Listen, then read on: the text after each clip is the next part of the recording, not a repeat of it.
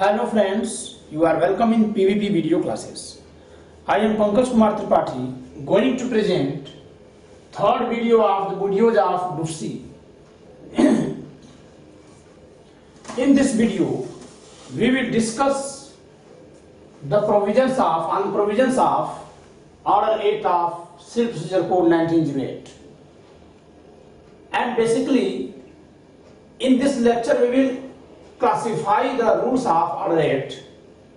and we will describe all the rules except rule 6 set off and counterclaim rule 6a to 6g except these rules 6 to 6g all rules shall be described in this lecture okay and we will discuss the meaning of WS written statement and by whom it might be presented. Okay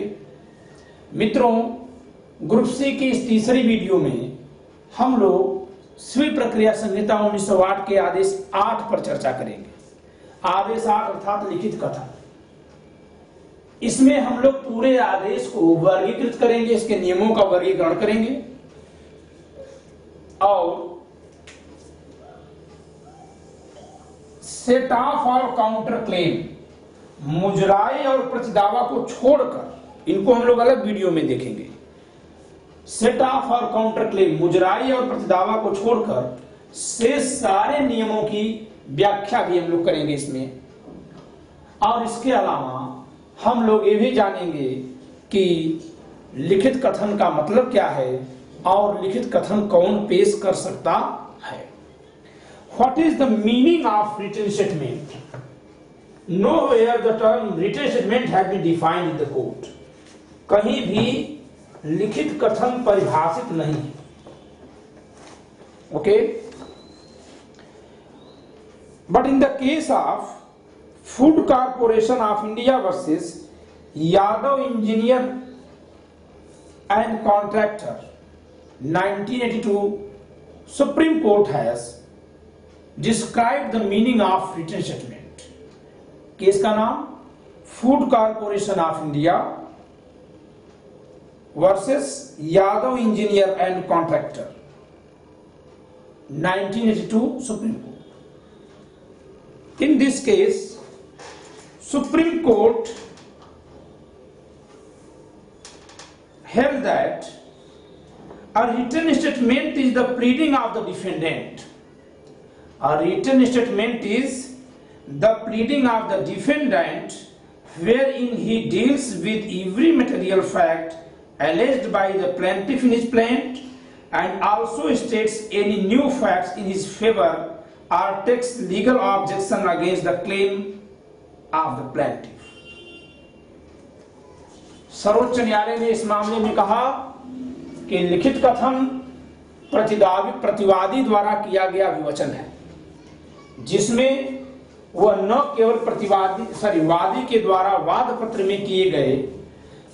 दावों का जवाब देता है बल्कि अपनी ओर से वो नए दावे मुजराई और प्रतिदावे के रूप में भी उठा सकता है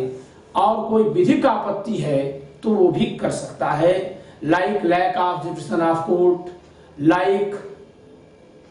limitation over of limitation period okay तो वो किसी विधिक बात को उठा सकता है या किसी मटेरियल बात को उठा करके वादी के दावे को नकार सकता है या अपनी ओर से कोई नया दावा मुजराई या दावे के रूप में भी कर सकता है उसके द्वारा किया गया ऐसा अभिवचन जो वाद पत्र के उत्तर के रूप में किया जाता है उसे हम लिखित कथन कहते हैं the second question is who may file WS return statement it is इधर by defendant or by his duly constituted agent या तो प्रतिवादी या उसके द्वारा नियुक्त सम्यक तरीके से नियुक्त अभिकर्ता ही लिखित कथन दाखिल कर सकता if there are more than one defendant, several defendants, then and, uh, and written statement is common for all, then the written statement must be signed by all the defendants. Though it might be verified by any of the defendant, but it must be signed by all the defendant. yadi ek se ज्यादा प्रतिवादी hain to yah aur वाद aur लिखित kathan sabke liye common hai ek hai तो वो सबके द्वारा हस्ताक्षर जरूर होना चाहिए चाहे भले सत्यापित हो ये कही करे who is acted with the facts okay if a return statement filed by one defendant but not signed by other defendants it doesn't bind the defendants who have not signed it Okay, it has been held by Patna High Court in the case of Jugeshwar Tiwari versus Shiv Pujan Tiwari 1986. 1986 Patna के मामले में जगेश्वर तिवारी बनाम शिव पूजन तिवारी के case में पटना उच्च न्यायालय ने यह स्पष्ट कहा कि यदि कई प्रतिवादियों की ओर से कोई लिखित कथन दाखिल किया जाता है और केवल एक ने हस्ताक्षर किया सबने हस्ताक्षर नहीं किया तो जिन लोगों ने हस्ताक्षर नहीं किया उन्हें वह प्रतिवाद पत्र यानी वह लिखित कथन बाधेगा नहीं वो उससे नहीं बधेगा okay now come on the order eight in order eight there are there are originally ten rules okay इसमें मूलतया दस नियम हैं. while rule 1a and rule 6a to 6 d have been inserted. Rule 1a has been inserted by way of the Amendment Act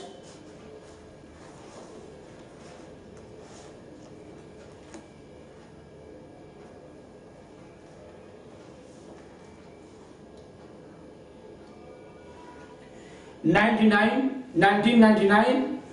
while this Rule 6A to 6D have been inserted by the Amendment Act 1976 okay तो ये कब जोड़ा गया 1976 में उन्नीस में counter claim कब जोड़ा गया उन्नीस में जबकि दस्तावेजों के बारे में जो नियम वन ए है ये कब जोड़ा गया ये जोड़ा गया 1999 में and it is enforced on enforced in July first July two thousand two ठीक है एक जुलाई दो हजार दो से लागू हुआ before going to describe the provision of rule I would like to classify all the rules okay I have classified the rules into one two three four and five rules okay मैंने इन नियमों को पांच वर्गों में वर्गीकृत कर रखा है कर दिया है okay okay? in five groups. Rule 1 the, the time period within which written statement can be filed. Rule 1 the outer limitation period, the normal limitation period and outer limitation period. Okay.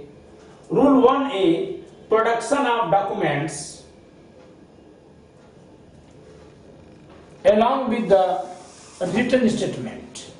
Okay, one We have already discussed Rule 1A with the discussion on Rule 14 of Order 7 in the earlier video. हम लोग इसके पहले वाले video lecture में आदेश सात के नियम चौदह पर चर्चा करते समय इस पर चर्चा कर चुके हैं So I will not discuss rule 1A in this lecture, okay? Rule 2 to 8, particulars. of WS, written statement, which might be cut, categorized into two groups, generally rule 2 to 5 and 7 to 8, and specifically rule 6 for set-off and rule 6A to 6G for counterclaim. लिखित कथन की विशिष्टियां उसमें क्या क्या होगा सामान्यतः जो होगा वो है नियम दो से पांच और सात से आठ जबकि विनिट या क्या क्या हो सकता है मुजराई उसके लिए क्या लिखा जाएगा ये नियम छह में बताया गया या प्रतिदावा इसके लिए कहा लिखा जाएगा और क्या लिखा जाएगा वो नियम छ क से छ छ तक six A to six G तक में बताया गया है okay then rule nine subsequent pleading subsequent pleading means after W S first pleading primary pleading is plaint Then the second pleading, it, pleading is WS. Then subsequent pleading. Subsequent pleading is answer of set off, answer of counterclaim and other pleading after being allowed by court with the special leave of the court. Okay? Rule 9. Like the primary pleading by defendant is in rule 1 okay while subsequent pleading by defendant is in rule 9 ye paschatvarti abhikathan hai kahan hai rule 9 mein okay and in rule 10 effect of non presentation of wsr pd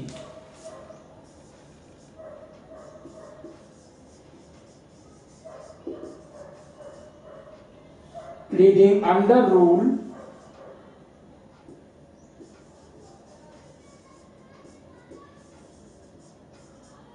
one or nine. Effect of non-presentation of WSR, effect of non-presentation of WS or pleading, either under Rule 1 or Rule 9, within the prescribed period. So Rule 10 should be read with Rule 1 and Rule 9 because it provides the effect of non-compliance of the provisions of Rule 1 and Rule 9 and it should be compared with Rule 10 compared with Rule 5 sub Rule 2 okay Rule 10 should be compared with Rule 5 sub rule 2 must be compared because rule 5 sub rule 2 also provides the effects of non-presentation of WS written statement within the prescribed period provided in rule 1 of order 8 क्योंकि नियम पांच उपनियम दो भी प्रभाव बताता है किसका यदि लिखित कथन नहीं पेश किया गया तो क्या प्रभाव होगा कब तक यदि प्रतिवादी द्वारा लिखित कथन नियम एक के अधीन निर्धारित सीमा के भीतर नहीं पेश किया गया तो क्या होगा so we will discuss the provision of rule one rule nine with the provision of rule five two and rule ten and there are some cases to be discussed okay like the case of Kailash versus Nanku 2005 Supreme Court. Okay. Like the case of Salim Bar Advocates Association versus Union of India 2005 Supreme Court. Okay. तो इन तमाम cases का discussion भी यहां होना चाहिए okay इन cases को भी यहां डिस्कस किया जाना चाहिए तो हम लोग इनको यहां डिस्कस करेंगे like another case Modula India versus Kamakhya Singh 1989 Supreme Court okay तो हम लोग इन केसेस को यहां डिस्कस भी करेंगे now come on rule one of order eight rule one the outer limit of the limitation period of presentation of return statement generally it is 30 days from the day of serving of summon on the defendant सामान्यतः यह तीस दिन है but a proviso has been inserted by the amendment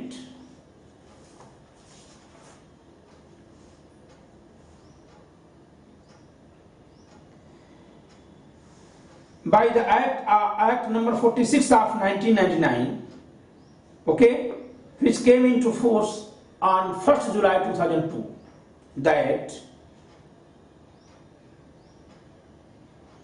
where the defendant fails to file the written statement within the set period of 30 days, he shall be allowed to file the same on such other day as may be specified by the court for reasons to be recorded in writing, but which shall not be later than 90 days from the date of service of summons. It means generally it is 30 days, which might be maximum extended up to 90 days. It means it might be extended for next 60 days. Court have power to extend the limitation period of presentation of our uh, limitation period for presentation of written statement for next 60 days because the outer limit of presentation of written statement is 90 days. ठीक है सामान्यतः समन की तामीली से 30 दिन के भीतर लिखित कथन पेश करना है लेकिन यदि वह 30 दिन के भीतर पेश नहीं करता है तो न्यायालय समय बढ़ा सकता है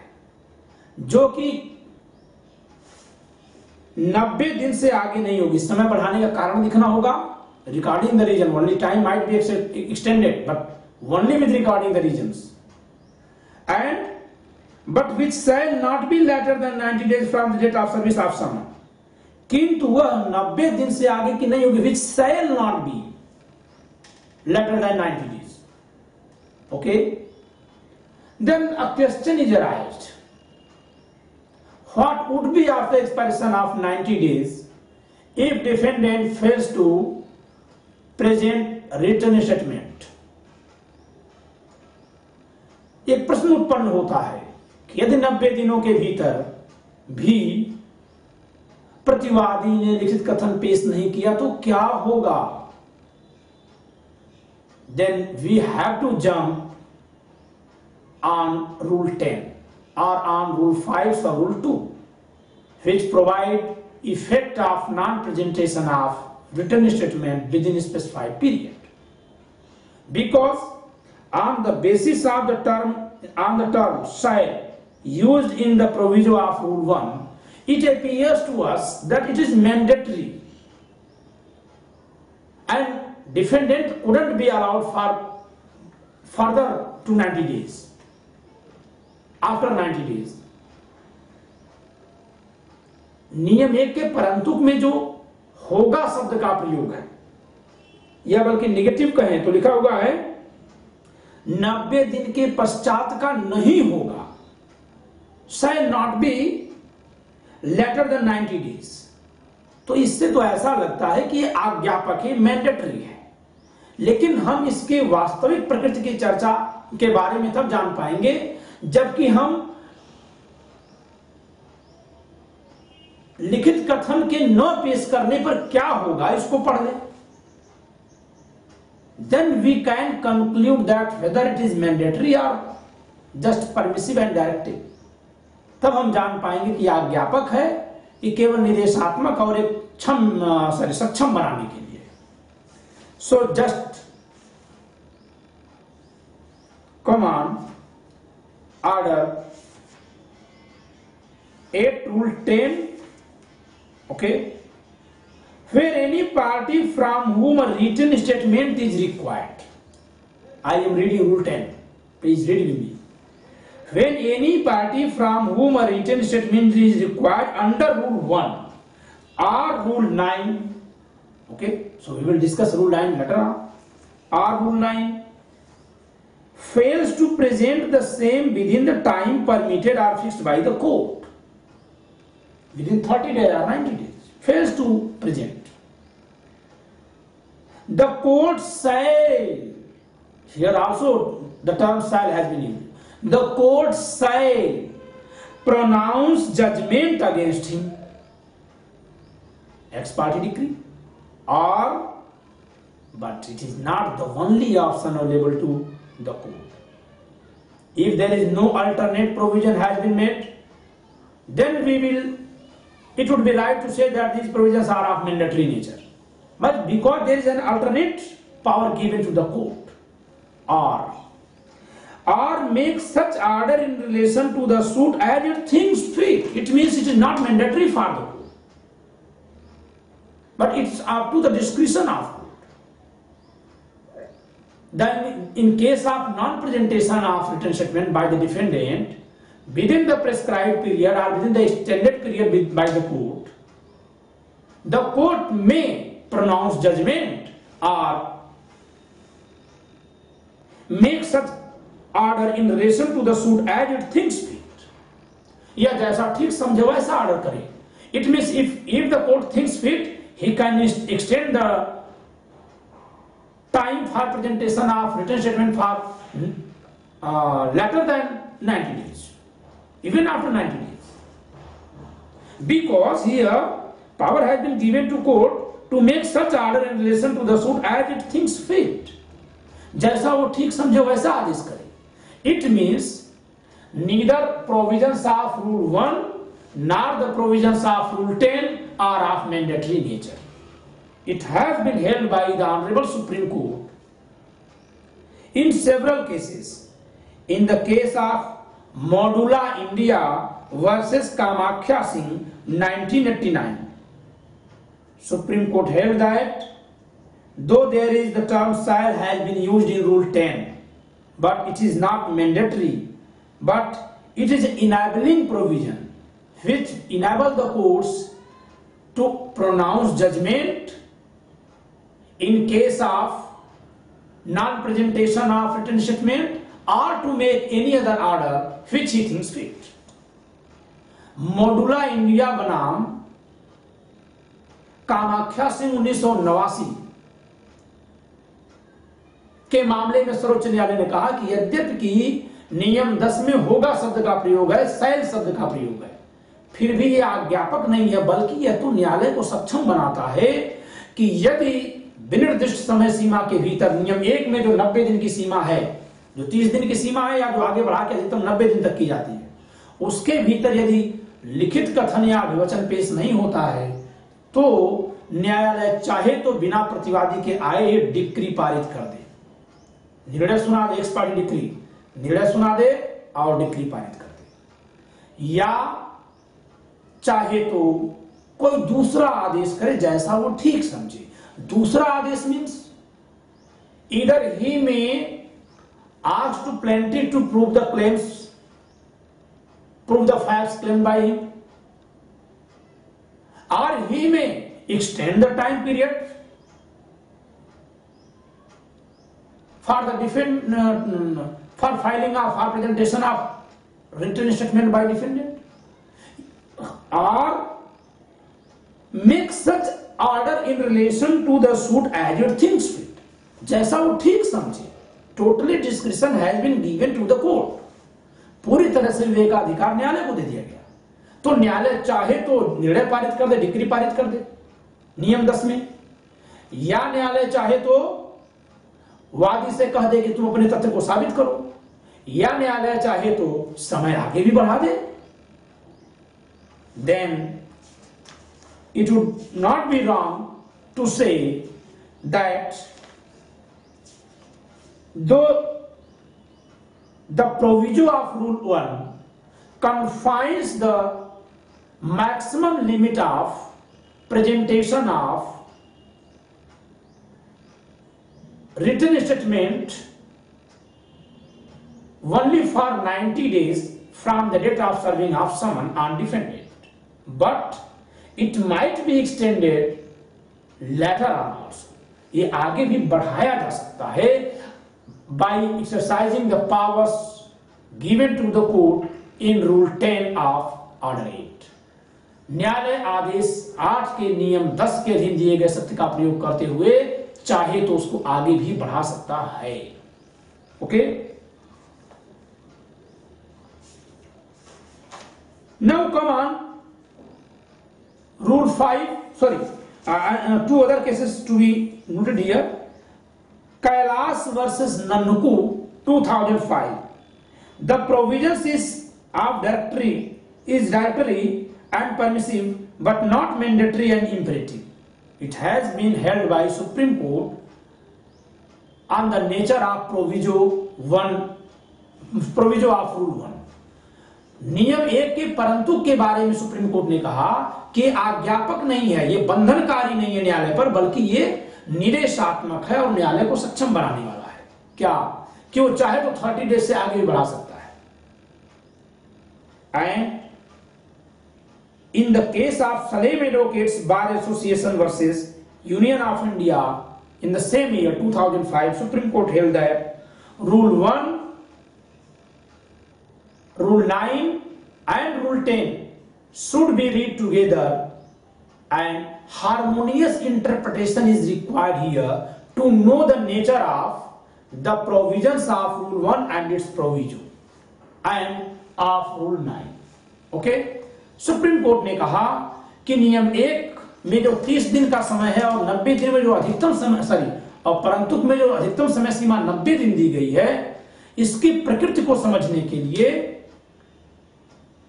नियम एक नियम नौ और नियम दस को एक साथ कहा जाना चाहिए rule rule one rule nine and rule ten should be read together ठीक है सर्वोच्च न्यायालय ने कहा कि नियम एक के परंतु की प्रकृति को समझने के लिए इन सबको एक साथ पढ़ा जाना चाहिए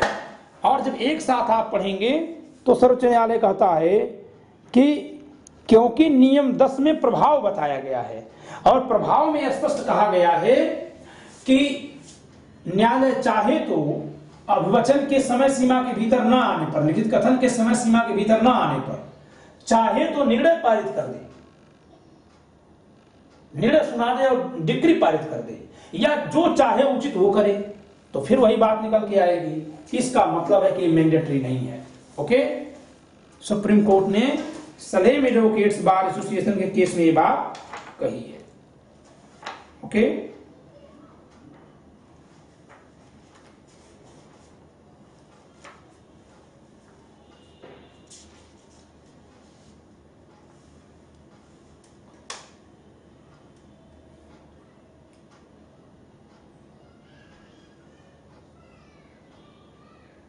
in this case harmoniously constituting rules 1, 9 and 10 of the order of order 8, the Supreme Court observed समन्वयकारी व्याख्या करते हुए आदेश आठ के नियम एक नौ और दस की समन्वयकारी व्याख्या कारी व्याख्या करते हुए सुप्रीम कोर्ट कहता है in counselling this provision support can be can also be had from order eight rule ten which provides what where any party from whom a written statement is required under rule 1 or rule 9 any party from any party statement is required yes generally written statement is required from defendant but if defendant makes set off or counterclaim then against the set off or against the counterclaim the answer from the side of plaintiff is required and the answers given by the plaintiff to the set of or counter claim claimed by defendant is also considered as written statement by plaintiff यदि प्रतिवादी ने लिखित कथन में कोई मुजरा कर, कर दिया या मुजरे का दावा कर दिया या कि प्रतिदावा कर दिया तो उसके बदले में उसका भी उत्तर देने के लिए वादी को समय दिया जाता है और जब वादी उसका उत्तर देता है तो उसे भी लिखित कथन माना जाता है okay it has been provided in the rules उन्हें जो है लिखित कथन माना जाता है मैं आपको पहले बता दू I would like to inform you primarily fair it is treated as written statement rule three of sorry, sub rule 3 of rule 6. The rule relating to a written statement by a defendant applied to a written statement in answer to a claim of set off. And who will answer to the claim of set off? It is plaintiff. Because set off is made by, claimed by defendant and it is answered by plaintiff. Counter claim is claimed by defendant and it is answered by plaintiff.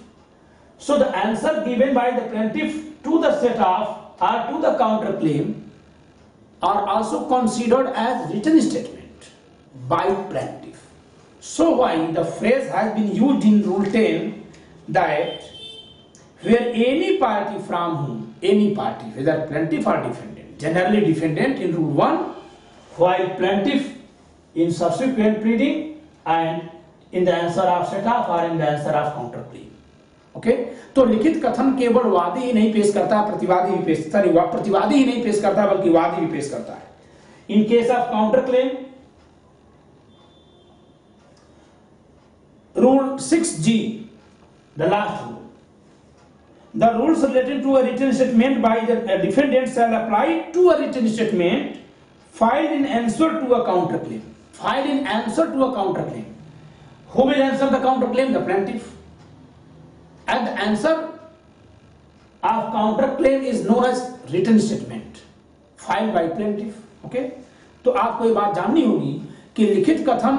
वाद पत्र के बदले में जो जवाब है वो लिखित कथन किसके द्वारा है प्रतिवादी के द्वारा लेकिन यदि प्रतिवादी मुजराई करता है या कि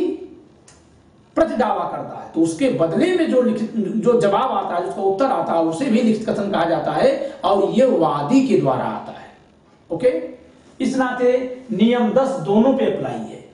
while I have to I have set you to compare rule five two from with rule ten rule five two is applied only on defendant okay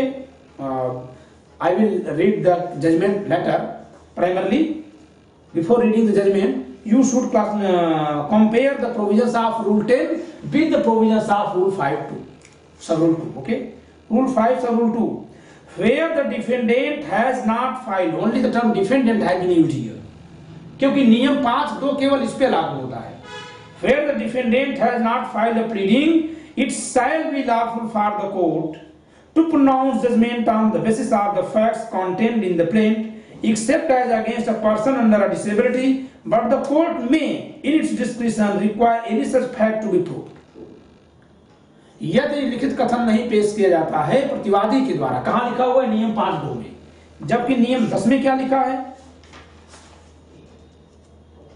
Where any party from home and written statement is required under Rule 1 or nine fails to present the same within the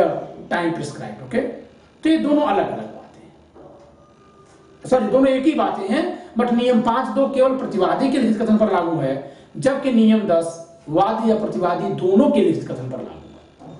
Okay? Uh, so,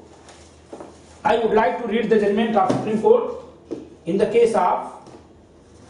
Salem Bar Advocate Association versus Salem Advocate Bar Association versus Union of India, 2005.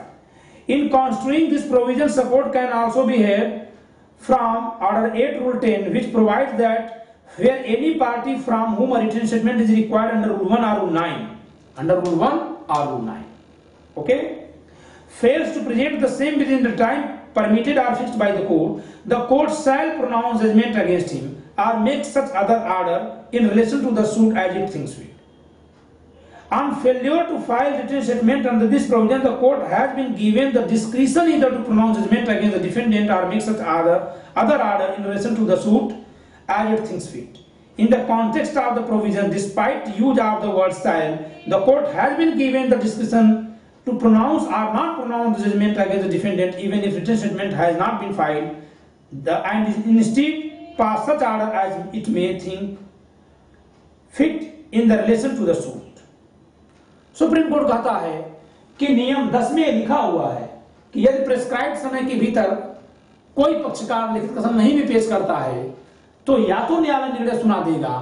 या जैसा ठीक समझे वैसा करेगा इसका मतलब है कि नियम एक का परंतु बंधनकारी बाध्यकारी नहीं okay the effect would be that Under Rule 10 of Order 8, the court in its discretion would have power to allow the defendant to file written statement even after expiry of period of 90 days provided in Order 1, Order 8, Rule 1 provision. In this case, Supreme Court held Supreme Court यह भी कहता है किस प्रकार आदेश आठ के नियम दस में जो न्यायालय को शक्ति दी गई उसका प्रभाव यह है कि नब्बे दिन के बाद भी लिखित कथन पेश करने की अनुमति दी जा सकती है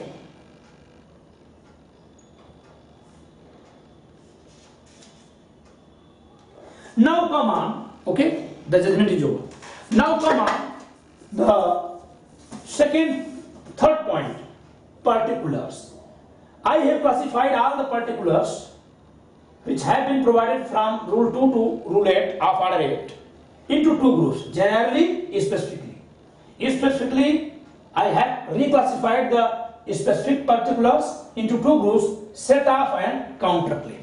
which will be discussed in the next video ठीक है इन दोनों को हम लोग अगली वीडियो में discuss karenge not here but generally सामान्यतः क्या है rule two to five and seven to eight two to five में क्या है in two to five there is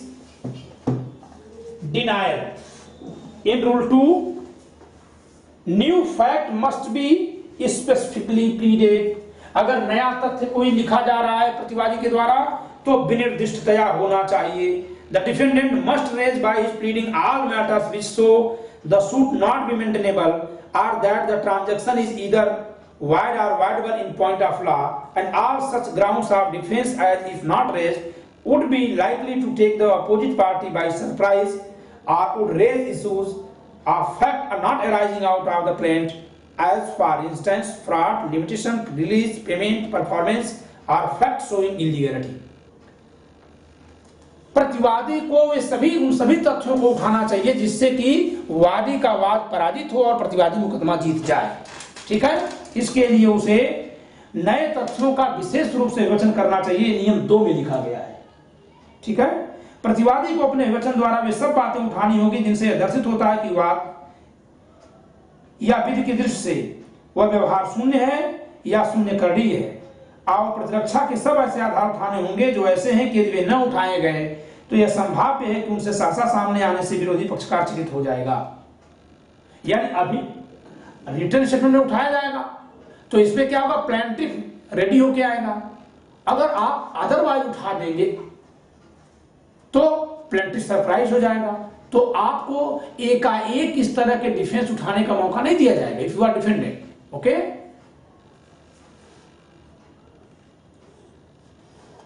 और क्या है जिनसे तथ्य के ऐसे विवाद पैदा हो जाएंगे जो वाद पद से पैदा नहीं होते तो आपको ऐसे अभिवचन बाद में नहीं उठाने दिया जाएगा you should raise or all the issues in the return statement like fraud limitation okay चाहे कपट है परिसीमा है अवैधता है दर्शाने वाले तो सबको एक साथ उठाना चाहिए rule two rule five three denial to be specific वादी के किसी भी दावे को अगर नकारना तो स्पेसिफिकली डिनाई करिए Okay? It shall not be sufficient for a defendant in his writing statement to deny generally the grounds alleged by the plaintiff, but the defendant must be must deal specifically with each allegation of fact of which he does not admit the truth except damage. jin kinhi तथ्यों ko nakarta hai pratiwadi वादी ke daave ke jo ki वाद पत्र में किए गए तो विनिर्दिष्ट लिखना पड़ेगा कि इस दावे को नकारता है इसको नकारता and rule four evasive denial वाक छल पूर्ण प्रत्याख्यान प्रत्याख्यान denial must not be evasive और इवेसिव नहीं होना चाहिए बहुत क्लियर होना चाहिए otherwise in case of if the denial is not specific then the effect of rule five sub rule one could be arise denial must be specifically it has been provided in rule 3 if it is not denied specifically then हर एक प्रत्याख्यान यानी कि वादी के दावे की जो अस्वीकार उक्ति है जो नकारना है वो विनिर्दिष्टया होना चाहिए अगर विनिर्दिष्टया नहीं होगा तो तो नियम पांच का प्रभाव पैदा होगा क्या पैदा हो जाएगा every allegation of fact in the plaint if not denied specifically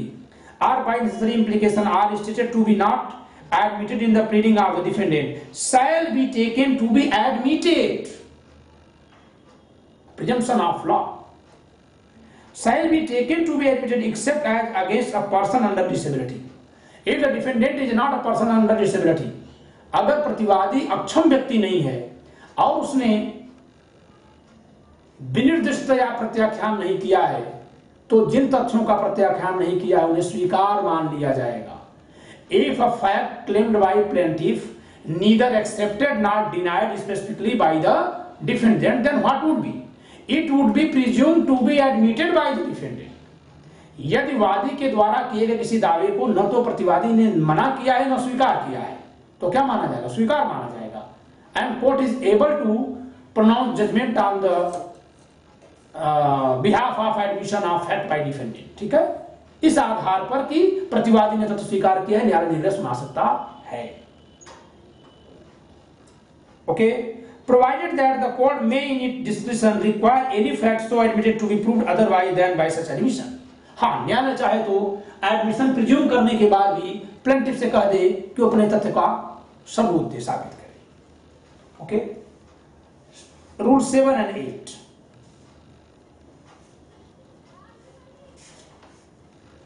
rule seven defence offset of founded upon separate ground पृथक आधारों पर आधारित प्रतिरक्षा या मुद्रा rule seven and eight or not important okay फिर the defendant realise realise upon several distinct grounds of defence of set of or counter claim founded founded separate and distinct facts they shall be stated as far as may be separately and distinctly जब कोई पृथक पृथक sorry पृथक और सुभिन्न तथ्यों पर आधारित प्रतिरक्षा या मुजरा या पर दावा किया जाए तो उसे विशिष्टतया लिखा जाना चाहिए new ground of defence any rule eight any ground of defence which has arisen after the institution of the suit or the presentation of return statement claiming asset of or counter claim may be raised by the defendant और plaintiff as the case may be in his return statement ठीक है प्रत्यक्षा का नया आधार भी उठाया जा सकेगा बाद में ठीक है कब if it has been arrived after the institution of suit or the presentation of a written statement प्रतिरक्षा का नया आधार भी क्या उठाया जा सकता है after presentation of return statement by plaintiff in rule one और by defendant rule three sub rule three of rule six rule six G okay और in rule 9 then whether subsequent defense might be raised yes if the ground of the defense has been arrived after presentation of the written statement then it might be raised at any time before the uh, before till the judgment of case pronouncement of judgment jab tak निर्णय na suna diya jaye tab tak pratyaksha का कोई नया आधार उठेगा तो उसे उठाया जा सकेगा rule act okay now nine subsequent pleading पश्चातवर्ती अभिकथन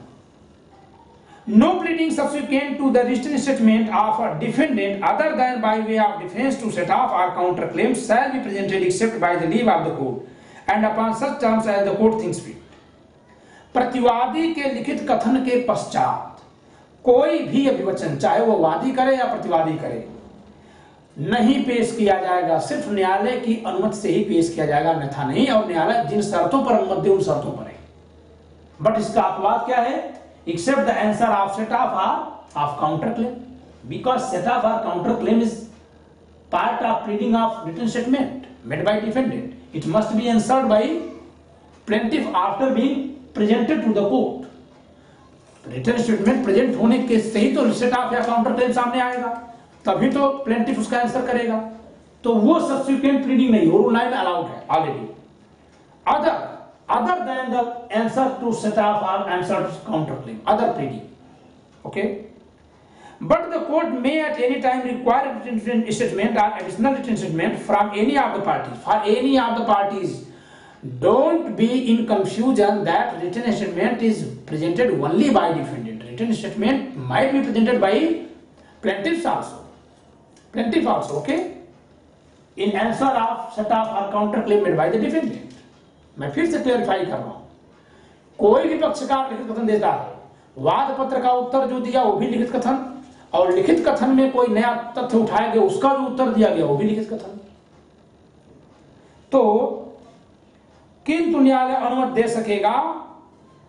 कोर्ट में at any time require or additional from any of the parties and fix time of not more than thirty days for the presenting the same